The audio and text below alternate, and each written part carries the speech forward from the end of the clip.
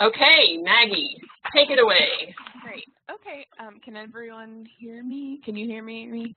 Yes. Okay, awesome. All right. Um, so uh, today I'm going to be talking about Google Scholar versus library resources. Like Amy said, uh, my name is Maggie Murphy. I'm a first year instruction librarian. I'm also the liaison to the Philosophy and Religious Studies departments and the college writing program, which is English 101 and English 102. Um, today I just wanted to get a sense of who is here because I'm going to do some live demos of both the library resources and Google Scholar and I have some questions uh, about your research interests and what resources you use for research. So if you wanted to visit this link, um, if you can, quickly and fill out the form, that will help me get a sense of, uh, of who's here and what you already know and what you want to know. Um, so we'll take a couple of minutes uh, for people to fill that in. I'll wait until I have like three responses because I think there are only three people who are not me and Amy here.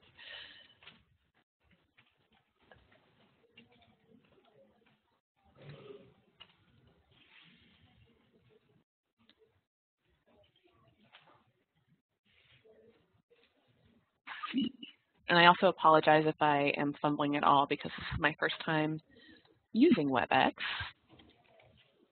Okay, got some responses.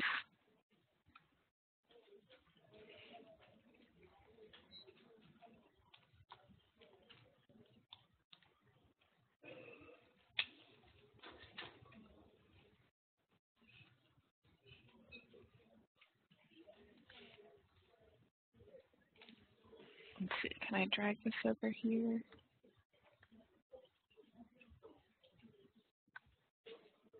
Great, okay. Um, so for those of us who have shared, uh, we have some people who use WorldCat Discovery, multidisciplinary subject databases, Google Scholar. Um, you have not or are not sure if you've set up Google Scholar alerts, uh, yes and no to Google Scholar author profile, and no to the library link. So that is great because one of the most useful things I'm going to show you today is the Google Scholar library link. Okay, so getting back to the presentation. Um, so there are really two kind of overall concepts I want you to keep in mind when we're talking about um, doing research, and that is discovery, which is finding out about the existence of sources through searching or browsing, and access, which is actually getting the full text of the source. Um, and they're kind of two separate issues. Um, so when we're talking about discovery, the item that you are finding is really like a citation, an abstract, a record, you know, evidence that a source exists. Um, and for access, it's actually the hard copy or a PDF or HTML text of the item, you know, the full text of the item. Um, so for a quick library resources overview, um, and I say everything's free with your Spartan ID, and free's in quotation marks because these things actually aren't free, they are just paid for. Um, using our funds for the library. Um, so these are actually, you know, high quality, expensive resources that you have access to because of your affiliation with the library. So um, I'm going to distinguish between resources and then our databases because our resources are more than our article databases. We have books, journals, newspapers, magazines, government documents, multimedia, data, statistics. Um, we also have our curated research and citation guides made by our librarians, um, and I'll point those out. We also have support for other tools for researchers like Zotero and EndNote, um, and I'm pointing this out because there's sort of a parallel to some features to Google Scholar that I'll point out. And then one of our uh, most important resources is the people that work here, our librarians, archivists, digital media specialists, etc. Um, so when we're talking about our resources, again, these are paid subscriptions and they're governed by vendor contracts. So there's some um, support and accountability with the people that provide these resources. And again, access is a three-year affiliation with UNCG. um, to now talk specifically about our databases, which is more parallel to the Google Scholar um, example. We have hundreds of databases for article searching. Um, these generally fall into multidisciplinary databases, so databases where you can find research from more than one discipline, and these are your Academic Search Complete, your ProQuest Research Library, um, and then the subject databases, which will be dependent on your area of interest. Um, so things like the MLA International Bibliography, um, ERIC, which is educational resources. Uh, we've got all kinds of subject databases. And you can find these through the databases. I said A through Z, but it actually just says databases on the library website. I'll show you that in a second. And then again, we have curated resources on our research guides by subject. Um, so every discipline has a subject librarian who has identified the most important resources, including databases for each subject. Um, and our library databases don't just include article databases. We have reference or encyclopedia databases, statistics, databases of musical scores, um, market and industry data, images, streaming video. Um, so whereas Google Scholar is a database uh, of only scholarly research in the form of articles and other formats. Um, our databases, we have a lot of article databases, but we also have these other additional kinds of databases. Um, so to go through some quick pros and cons uh, between our library databases, um, pros, uh, you can search for articles from both popular and scholarly sources in a lot of our article databases. You can also limit them to just one or the other. Um, the content in the databases, again, these are subscription resources. They're organized by experts, cataloged. Um, the metadata is indexed so that you can uh, find information by different categories. Um, the metadata is just the information about the articles. Um, and when I say index, I mean you can find it by title, you can find it by the title of the journal, you can find it by the text of the abstract. There's all these different categories where you can find information from. Using most of the databases, it's easy to identify which articles and your results are from peer-reviewed sources. Using that metadata or data about data, we can isolate that out. And you can also limit your search to show you what you have full text access to. Because um, thinking back to what I said about discovery and access, you're going to discover the existence of a lot of articles in some of these databases. There will be records or abstracts or citations, but we might not have access to them. So you can isolate your search to show you what you do have access to. And that's a nice feature of some of these databases. If you're not doing an exhaustive search, if you only want to know what you can read right now. Some cons, um, there's no good single point for discovery of articles uh, using these databases. The multidisciplinary databases have sort of a wide reach, um, a good representation of a lot of different disciplines. The subject databases are more uh, focused on particular disciplines, but um, every database package is kind of like a cable package, um, and just like cable packages, you know, if you get one package, you might have HBO, but you don't have Showtime. Um, a good research practice is to duplicate your search in multiple points of discovery because then you will sort of get the full range of articles. Um, because these databases are made by a bunch of different companies, there's different interfaces, which is the actual website that you search, um, and every interface works a little bit differently, looks a little bit different. And then one of the biggest cons of databases for new users and even librarians is that they have to be searched using structured keywords, um, Boolean operators, which are, are linking words like and, or, and not, and controlled vocabulary, which are um, basically like hashtags, but they are established by the catalogers. So if you're looking for information on climate change, um, there will be a single hashtag for all of the articles, regardless of whether they use the term uh, carbon pollution or uh, global warming. There'll be a single controlled term for all of those articles that is applied. But you have to know what that term is, and it will vary by database. So I'm going to quickly uh, let's see, head over to the library website to show you um, some of these things. So the first thing I want to point out is this red search box here. Um, and the all search box is really sort of like a blunt object in terms of searching. It's searching through our holdings here, the books that we have access to, the journals we have access to, the databases we subscribe to, um, but we find it kind of easier to use these facet searches. Uh, so you can search just our book catalog, which also includes music and videos, um, just our articles, uh, just our DVDs, etc. Um, but even the article search is still sort of like uh, pretty overwhelming because it's searching through multiple databases all at once. And I'm going to come back to that concept. Um, you can also click on databases, and here you see our top databases. Um, these include both uh, multidisciplinary databases like Academic Search Complete, ProQuest Central, JSTOR, um, and then there are going to be some of our most popular subject databases like Info, uh, Naxos Music Library, uh, CINAHL. Um, you can also uh, find databases, like if you happen to know the name of the database, through this alphabetical list. Um, for example, I mentioned an encyclopedia database. Uh, one of the ones that I like the most is Credo Reference. So I'm scrolling, scrolling, scrolling till I get there. And um, this is a source provided through NC Live, and it's sort of like a credible Wikipedia. Um, so it's uh, pulling from published reference sources, published encyclopedias.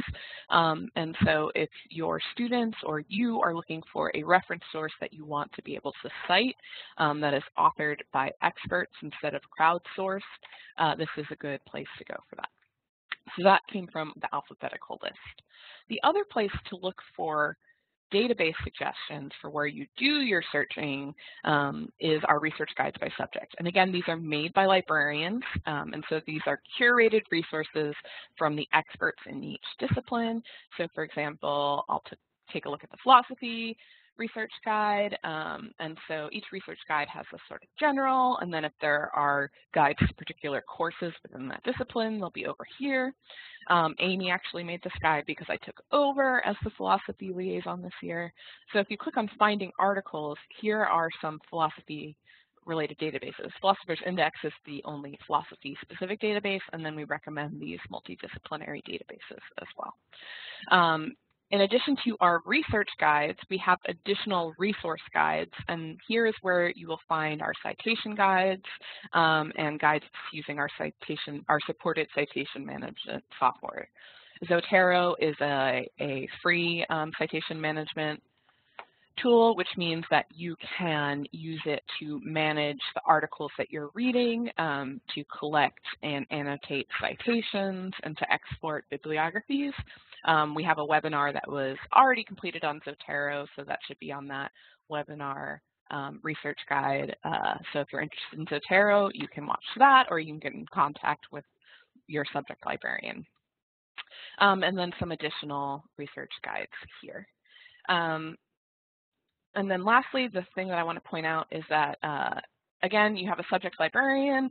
Um, you can also get in touch with any librarian who is staffing the reference desk. Um, so this will be dependent on who is there, but you can ask us questions. And this is available um, for multiple hours every week. Right now, the schedule is 8 a.m. to midnight, Monday through Thursday, 8 to 5 on Friday, 10 to 5 on Saturday, and noon to midnight on Sunday. So multiple hours every week you can get in touch with us. Um, but again, you can email your subject librarian. Uh, so I'm going to go back to the presentation um, and now do a Google Scholar overview. So I call this a useful tool in your scholarly arsenal. Um, and so Google Scholar searches scholarly literature only, um, mostly articles, but additionally theses, uh, dissertations, books, abstracts.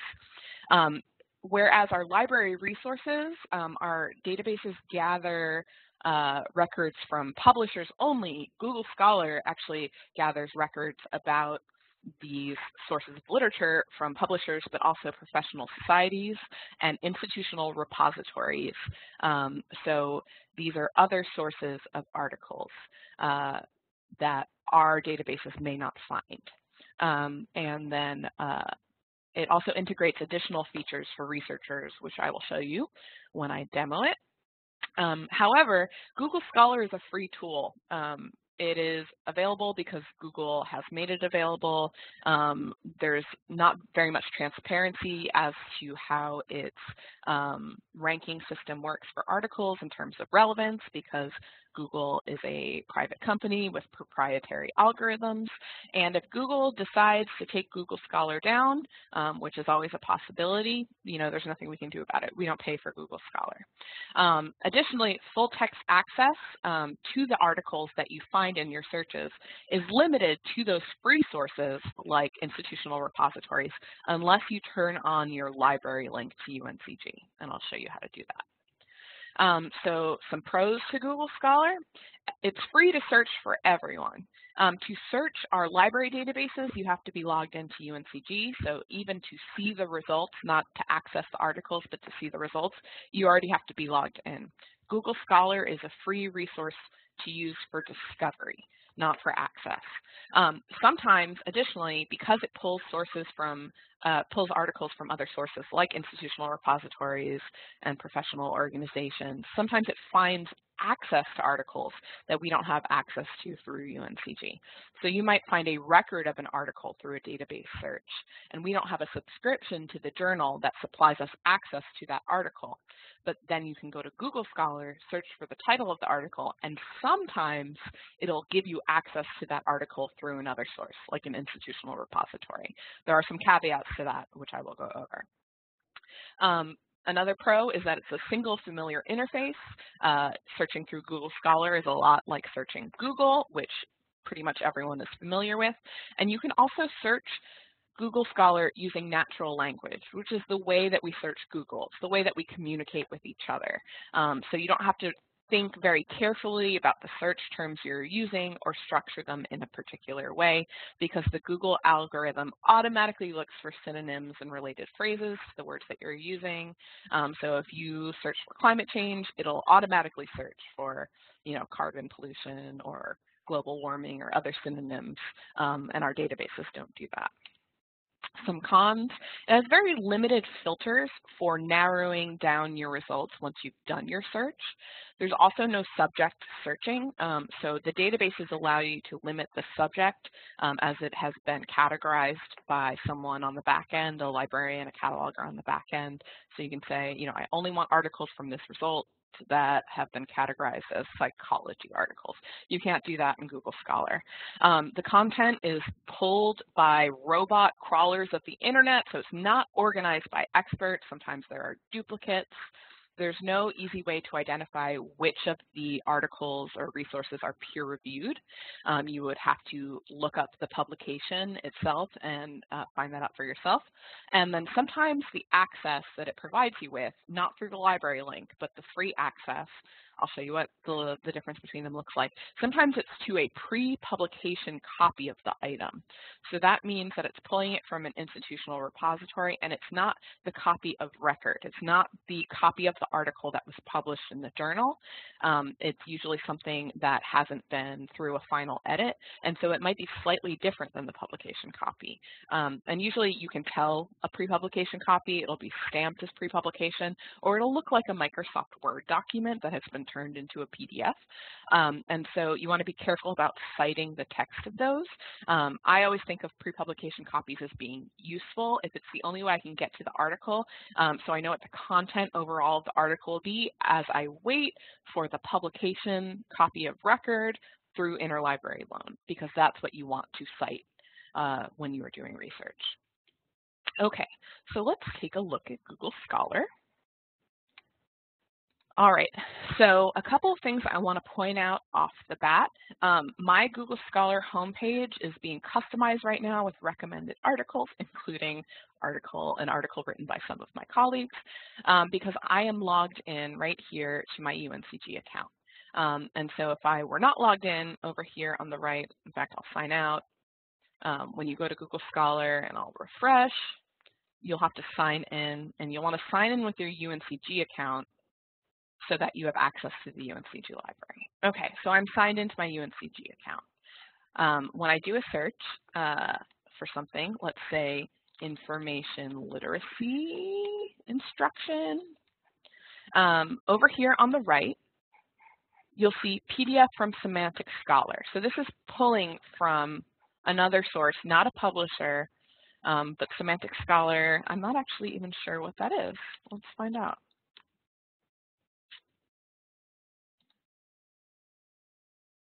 So it's actually pulling it through another similar search engine like Google Scholar. Um, so I'm not even sure, I guess they host PDFs too. So the, the sort of uh, copyright legality of some of these sources is not always completely evident. Um, PDF from SEER.edu. Here we have uh, from another non-publisher source. Um, and so this looks like a best copy available. This looks like it is from ERIC. Um, but so when you're pulling through the library link to UNCG resources, it'll say full find full text at UNCG. And if you open this link, it'll actually link back to our library catalog and you'll click view full text and it'll go through a link resolver and bring you to the article. Um, if you don't have the library link established, you won't see this link here um, and to establish a library link to show you UNCG access. And sometimes you'll have duplicate access, right? You'll have a PDF from somewhere else and you'll have access through UNCG, but sometimes you'll only have access through a non-UNCG source. To set up the library link, you will want to go to the three parallel lines over here that indicates a menu, go to settings, which is the gear, and then click on library links. I already have my library link established, but you could search for UNCG and it'll show you there are actually two library links, one for Gale, which is a single academic publisher of databases and books. Um, so they have a separate library link for Gale resources, and then our general library link, find full text at UNCG. Once you have enabled these and you do your search, then you will start seeing these library links. Um, there are also some useful sort of tools for doing research. For example, if I found this article to be useful, I can use Google's related articles um, search here, which has no filters over here, um, to show you what the algorithm suggests may be related research. Again, we don't necessarily know how these algorithm works, algorithms work, but it's a additional tool for discovery, right? You're trying to figure out the lay of the land on this topic and it's suggesting you related articles.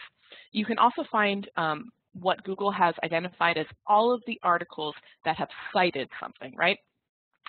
So, um, you know, these are all articles that have cited the article that I was just looking at, which is another way to pursue additional research. Um, when you use library databases, typically you are looking at the PDF of something um, and you go to the bibliography and you find all of these other additional sources and then you have to go find access to them. Whereas Google um, Scholar is saying here are a bunch of other sources um, that are related to it. These have cited the, the original source. Um, over here on the left, you also see that you can set up a custom range. You only want articles past additional point or a specific point in time um, or only up until a specific point in time. Uh, there's also the citation tool, which creates a basic citation, um, which all of the databases through the library have as well. Um, some of these are not great, like this 59.6 is not how you indicate the volume and the issue in MLA 8th edition, um, so you want to be careful with just copying and pasting these into your works cited or reference page or bibliography, et cetera. You can also create an alert. Um, this is something that I find useful. So um, if you are doing instruction, I mean, if you are doing research on a topic um, and you do a search and you find a lot of good results, but you want to know um, what new research is going to be published that would fall into that search, you can create an alert um, and Google will show you um, when they have uploaded or uh, indexed um, new articles that uh, would come up in that search. And um, if you look at your menu over here, if you have alerts set, you can actually see what your alerts are um, so that you can create an alert, monitor alerts, etc. Um, the other thing that I like about Google Scholar is that it's really easy to add things to a library by going to your results list and clicking Save. Um, so this is a way to sort of manage um, your the research that you want to cite. Um, so here I've saved a bunch of articles. Um, and I like this because it's a single place where you can add things. So even if I found an article through another database, I might look it up in Google Scholar by searching for the title of it, find the Google Scholar citation, and then add it to this library so I can easily manage my um, research in one place. And then you can also click a bunch of boxes and export the citations all at once to EndNote um, using the BibTeX um, citation format, um, which will upload to um, other citation management. Again, this is something that you want to talk to with your subject librarian if you are interested in citation management. But you can also download it to a CSV, um, which is something that can be opened uh, in Excel or Google Sheets. So I'll show you what that looks like. Um, so once you're in Google Sheets, I'm going to, let's see, how do I upload? I might have to do it straight from Google Drive, actually. Uh, I'm going to upload a document, file upload. I'm going to find my new download. There we go, citations, open that. And then it'll create, um, that is not what I was looking for. There we go. Okay, it'll create a sheet with um, a spreadsheet of all of the articles and their citation information, the title, the publication, the volume, etc. Um, the other nice thing about Google Scholar that I like is that you can create an author profile. Um, so my profile here, so this is me, um, and this is an article that I uh, am a co-author on. Here is uh, a bibliography that I worked on. And then if this article were to be cited, I could see who was citing my work. Um, this was just published like three weeks ago, so uh, it is it is not it has not been cited by anyone. Um, and this is also a way for people to follow your scholarship. And if um, other researchers or scholars that you like are uh, sort of looking at your research, you can follow them here. Um, so lastly, I want to quickly uh, make a note, um, because I know that we're running out of time, about discovery and how it works. So through our library, we have the red search box, the discovery layer. Um, and you can use that to search through multiple databases all at once. So MD means multidisciplinary database, subject database. These are generic here. Um, the Databases then have particular journal subscriptions associated with them. So some journals are only hooked up to particular databases, multidisciplinary databases pull a bunch of different journals. And then you have the articles, which are the items associated with the journals. And I'm showing you here that we have the records for articles from some journals, but we don't necessarily have the access to the full text for all of the journals that we have um, indexed in our databases. In Google Scholar, what it is indexing is not through particular databases or uh, journals, but it's indexing the article. However, using Google Scholar, like I said, especially if you don't have the library link set up, you may not have access to it, which is what that dotted line is. Um, so you might be asking, what about the red search box on the library homepage? Um, I'm going to quickly uh, use an example. Um, so this is uh, one of my favorite artists, Louis Wain, um, who had schizophrenia and started creating progressively crazier um, images of cats. Um, so if we go to the library homepage and I'm searching for articles and I say cats and Louis Wain,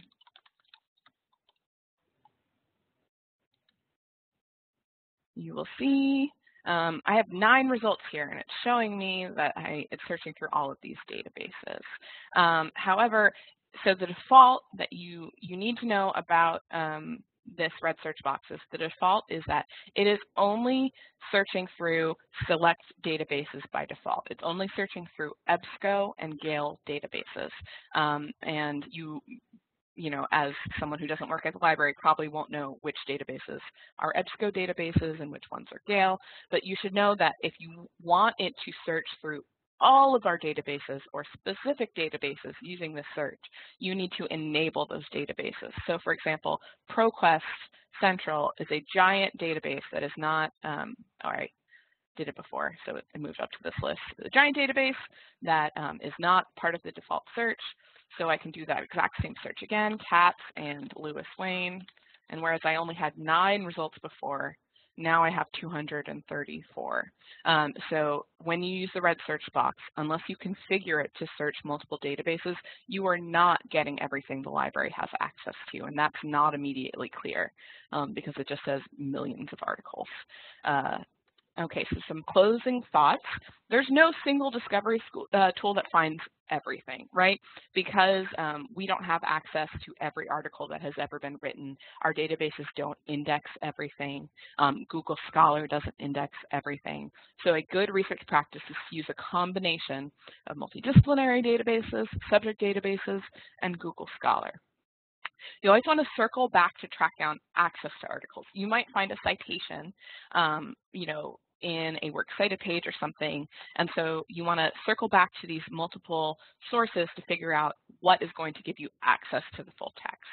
Um, you can use alerts and manage your citations through our databases, through Google Scholar, through open access um, tools like Zotero.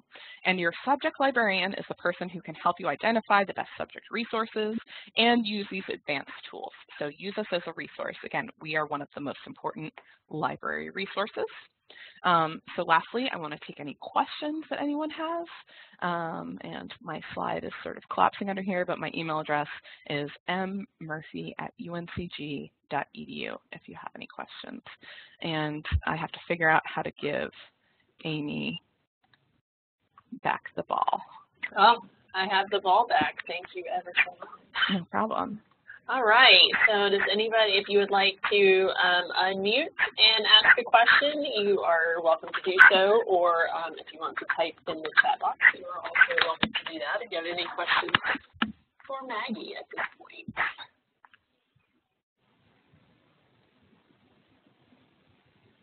I'll go a little bit more than three seconds of dead silence at this point, because maybe somebody's just working up to a really good question right now, I don't know.